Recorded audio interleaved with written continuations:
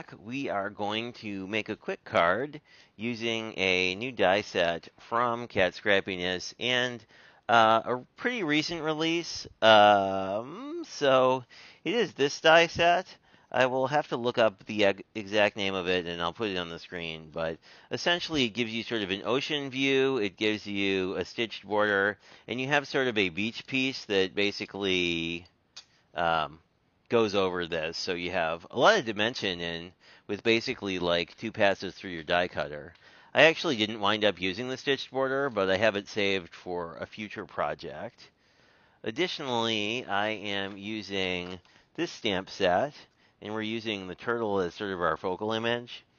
Uh, I think it's called Friends Under the Sea. Again, I'll throw it on the screen if I figure that out. So I grabbed a sentiment from here that says, You're total. Wow, that would help, wouldn't it? You're totally awesome.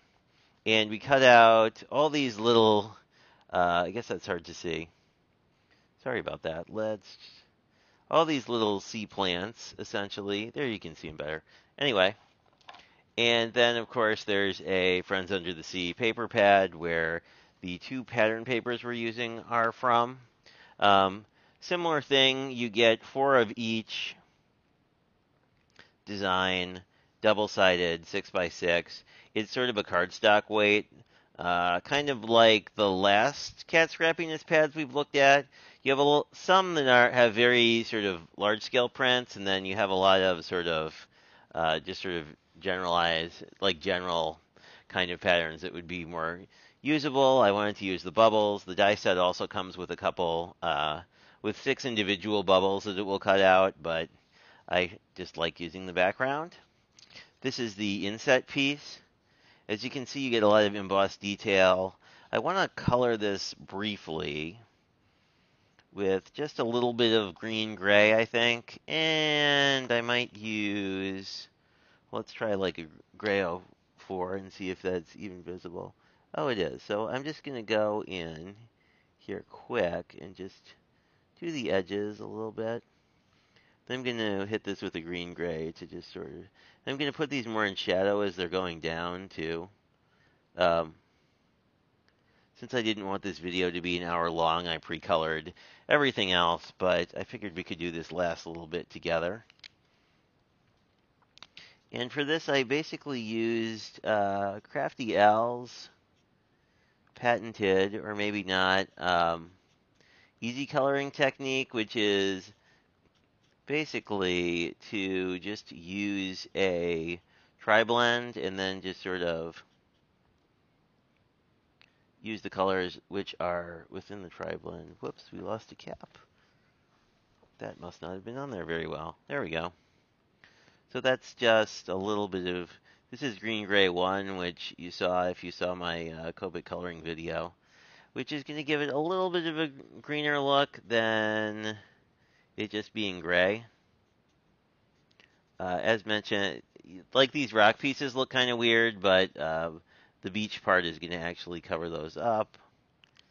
And here let's go in with more of a brown. This is Warm Gray 05, which is a color I like a lot, so that's probably not overly surprising. Obviously, because we're using sort of a mid-tone gray, these are going to come out more in shadow, which kind of makes sense from, uh, as you can see when it dries, you get a better, the green comes out a little bit more than uh, when it's wet. Anyway, I think it makes sense in the context of this scene because that would sort of be like if the lip of the cave was casting a shadow, like these would probably look a little bit more in shadow. We also have uh, all these little pieces that we can use. I think I'll use the rocks on the beach. I also took one of the sentiments and then did a little ink blending and cut a banner that says "You're totally awesome." I'm kind of thinking I might actually put this at the top. And then uh, for this challenge, there are four colors in the color palette. It's basically sand, which is this is sort of a more saturated version, but basically sandy brown, dark blue, teal blue, and white.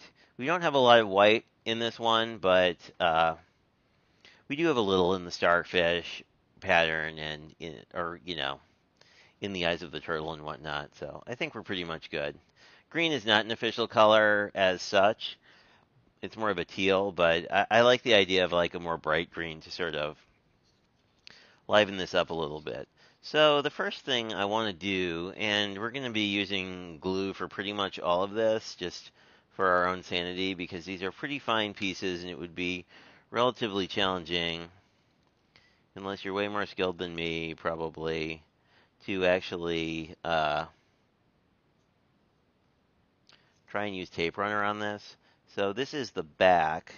You can kind of tell because you sort of have the more cut edge of the die cut where it's sort of more beveled on the front. Some people call that the nice side and the less nice side. But, you know, whatever works for you. And then I'm just going to lay this down, and then I think all we really need to do is just sort of even this up. Of course, this layer is going to be hidden, so it's a little bit less of an issue. Now we're going to flip it over, and you can use any sort of tool of your choice. I will use, since we're doing Kat Scrappiness, it seems fitting to use the bone folder to do this. But basically, we just want to make sure all that glue adheres, particularly with the leaves, because they're probably the finest piece here, to make sure that uh, the glue is going to keep them stuck down. Since we are using a glitter card base for this, we're probably going to wind up gluing basically everything on this card. Um, which isn't good or bad. Uh, um, and I think that we can. I'll probably put the land on, and then we'll glue this to the base because I don't want to. I don't really want to fiddle with the little pieces or with our embellishments. Uh, I don't think this is actually. This wasn't part of the release as such, but these are the epoxy embellishments that Kat Scrappiness has in like 15 colors. So I'm a big fan of them. You've probably seen them on cards all over the place. So anyway, there's that. And the cool thing is once this, people are calling this the land or the shore, I guess. There's a really good, if you look on the Kat Scrappiness channel, um, a Creative Muse did a really good uh, overview of this particular set. I also like liquid glue for stuff like this because it really sort of allows you to uh, play with it a little bit.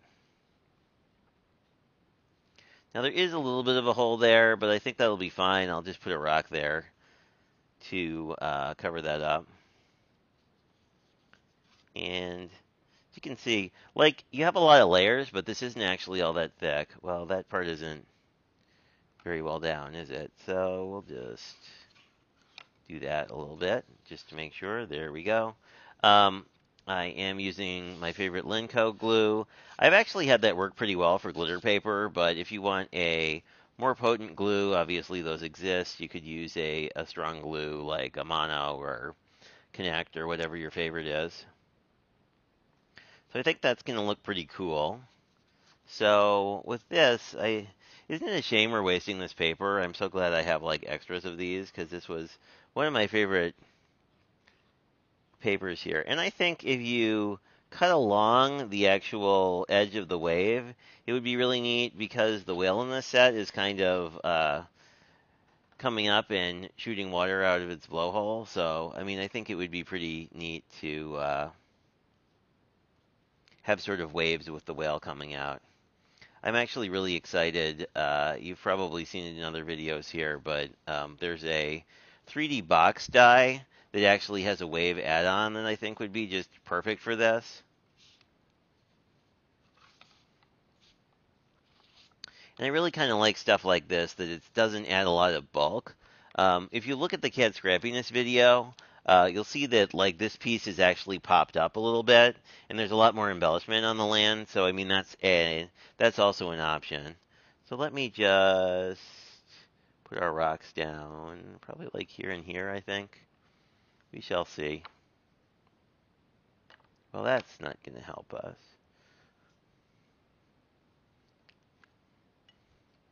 Ah. My pokey tool is kind of... I'm really bashing up the wax. This was one I got off Amazon, but I think the uh, Kat Scrappiness also sells one, which is probably way better made. So we will cover that rock. And, you know, we don't have to be super duper like accurate here. I will likely come back in and just color these a little bit once that glue adheres a little more, just to kind of give them a little bit more of a offset from everything else. Let's see. Now, I'd really like... I think I'd like my seaweed he in here. Just the one with the rock. Whoops, there goes a fish. So I think I will just sort of...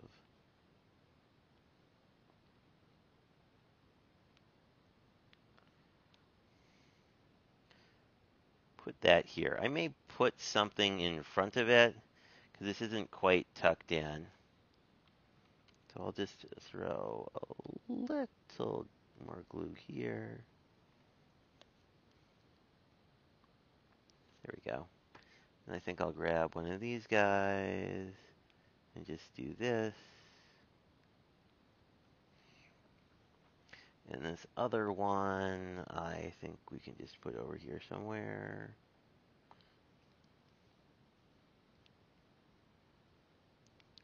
There we go. I don't often make scene cards like this, so I'm curious if you guys are fans or not. Um, but I do like them quite a bit. So let's get our turtle in. We have two other fish we can position, but I would like to kind of get our guy or gal or whichever put in because it's probably the largest thing. We could actually, oop, wrong end. There we go. I think we could actually put her over the I think that would look pretty neat. Have her sort of Eh, I think where we had it made the most sense. Let me just glue, add a little more glue. But that's the nice part about wet glue. You can kind of pick it up and reposition. I do kind of like it here, sort of overlaying that.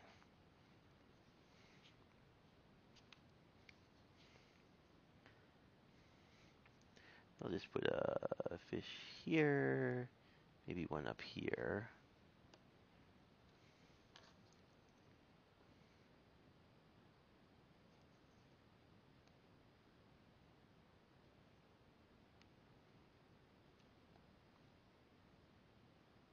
Just have this fish be sort of pointing more towards the center of the card to sort of bring your eyes in.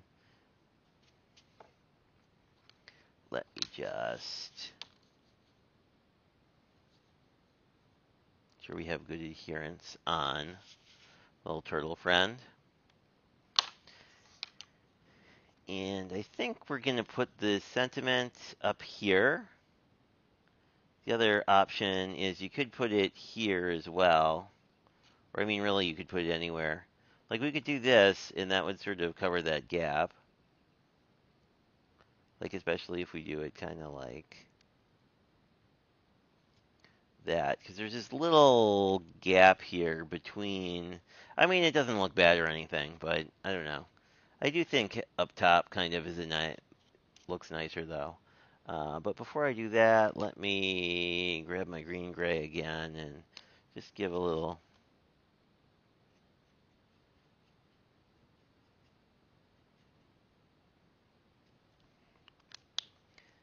Give these rocks a little bit more character.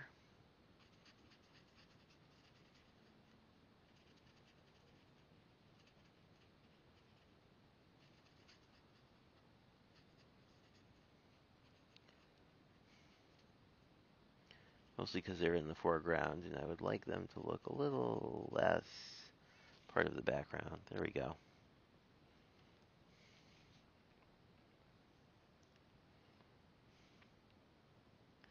I think we will use some, I think I'll use a couple embellishments on the beach just to sort of offset the banner we're going to put up top. So we could actually tape this down, but I'm going to use glue because everything else has been using glue today, and this is a fantastic glue. I'm Going to just even that up, and I like how that looks. Let's just come in here. Any glue kind of seeps out, you can just take it off with your finger.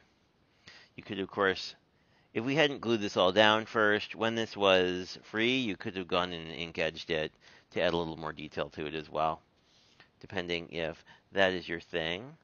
So I think all that we have left to do here really is clean off my glue bottle, because that's always important. But, I mean, I think the only other thing left to do here is embellish. And the nice thing is, though, even though this is a highly layered card, I think we're gonna. I'm gonna go with the larger size. I'm gonna put one here, and then I think I'll go in with the sort of medium size and just do that. I like I like that. It looks nice to sort of have a little more. And while they're having it here, you can move them around a little bit.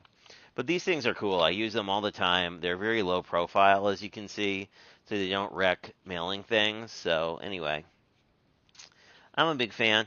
Anyway, this is our card. This was made on um, the May 15th, but uh, you may be seeing this later.